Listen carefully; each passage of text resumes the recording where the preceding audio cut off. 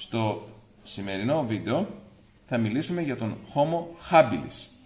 Οι πρώτοι άνθρωποι πιστεύετε ότι εξελίχθηκαν από τους Αυστραλοπιθήκους πριν από περίπου 2 εκατομμύρια χρόνια. Το ανθρώπινο είδος που προήλθε από αυτούς ήταν ο Homo habilis, δηλαδή ο άνθρωπος ο επιδέξιος. Έζησε περίπου 2,3 έως 1,5 εκατομμύρια χρόνια πριν στην Αφρική, στις περιοχές της σημερινής Κένιας και Τανζανίας. Το ύψος των αρσενικών υπολογίζεται περίπου στο 1 μέτρο και 30 εκατοστά και των θηλυκών περίπου στο 1 μέτρο και 10 εκατοστά. Το μέσο βάρος των ατόμων υπολογίζεται περίπου στα 30 κιλά. Ο Homo habilis περπατούσε όρθιος, είχε δόντια που έμοιαζαν περισσότερο με αυτά του σημερινού ανθρώπου και είχε επίσης εγκέφαλο σημαντικά μεγαλύτερο από αυτόν των Αυστραλοπιθήκων, με μέσο όρο περίπου 610 κυβικά εκατοστά. Ήταν ο πρώτος πρόγονος του ανθρώπου που παρουσίασε μεγάλη αύξηση στο μέγεθος του εγκεφάλου. Είχε αντιτακτούς αντίχειρες, κάτι που τον καθιστούσε ικανό να κατασκευάζει και να χειρίζεται εργαλεία με μεγάλη επιδεξιότητα. Το πρώτο ανθρώπινο είδος που απέκτησε αυτή την ικανότητα της κατασκευής και του χειρισμού εργαλείων. Στο Homo habilis το κρανίο είναι πιο στρογγυλό λόγω του αυξημένου εγκεφαλικού όγκου. Έχει αρχίσει να εμφανίζεται ένα μικρό μέτωπο.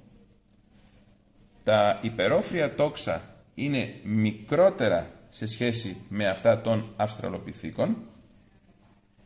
Στην κάτω πλευρά του κρανίου βλέπουμε ότι το ηνιακό τρίμα βρίσκεται στο κέντρο της βάσης του κρανίου, πράγμα που υποδεικνύει δίποδη βάδιση. Το πρόσωπο εξακολουθεί να προεξέχει, όπως και στους αυστραλοπιθήκους, όπως βλέπουμε εδώ από την κατακόρυφη μπροστά από τις οφθαλμικές κόγχες, βλέπουμε ότι το πρόσωπο προεξέχει σε μικρότερο όμως βαθμό, δηλαδή το Homo habilis σε σχέση με τους αυστραλοπιθήκους εμφανίζει μέτριο προγναθισμό. Η γνάθη και τα δόντια είναι μικρότερα σε μέγεθος σε σχέση με αυτά των αυστραλοπιθήκων, παρόλο που οι κοπτήρες είναι ακόμα σχετικά μεγάλοι σε σύγκριση με το μέγεθος των κοπτήρων των σύγχρονων ανθρώπων. Η διάταξη των δοντιών είναι περισσότερο παραβολική όπως και στους σύγχρονους ανθρώπους.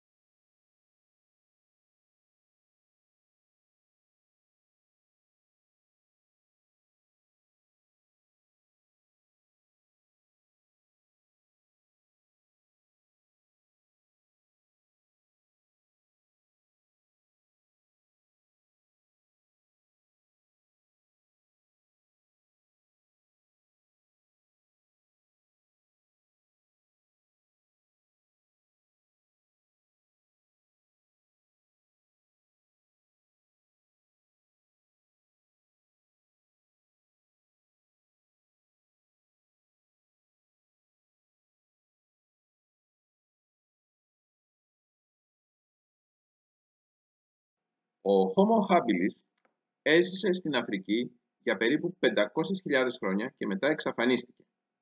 Αρχικά θεωρούσαμε ότι το είδος που τον αντικατέστησε ήταν ο Homo erectus, δηλαδή ο άνθρωπος ο όρθιος. Ωστόσο, πρόσφατες ανακαλύψεις το 2000 έφεραν στο φως απολυθώματα από τα δύο είδη που συνυπήρχαν στην ίδια περιοχή, στη λίμνη Τουρκάνα, στη Βόρεια Κένια και στην ίδια χρονική περίοδο αν κάτι τέτοιο επαληθευθεί, θα πρέπει να αναθεωρηθεί η θέση του στο εξελικτικό δέντρο του ανθρώπου. Επιπλέον, νεότερες έρευνες έδειξαν ότι είχε αναλογίες άκρων που έμοιαζαν περισσότερο με αυτές των πυθίκων. Γι' αυτό σήμερα το κατατάσσουμε σε πλάγιο ή τυφλό, όπως λέμε, κλάδο του εξελικτικού μας δένδρου, χωρίς εξελικτική συνέχεια.